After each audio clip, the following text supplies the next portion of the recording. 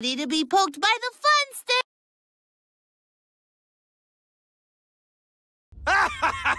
now I know where you've been getting it all from. Spookums and monsters. This kooky book has been filling your head with crazy conspiracies. Just remember, if you come back to the shack talking like these people, you're dead to me. There's a carpetbagger in the turnip cellar. Well, Hornswoggle my haversack. dead to me! Don't go lying to me.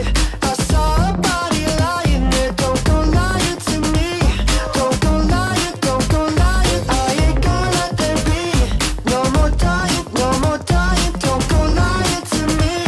I saw a body lying. He managed to win Mom over once. Doing it again would be like nailing a backflip in high heels on a tightrope.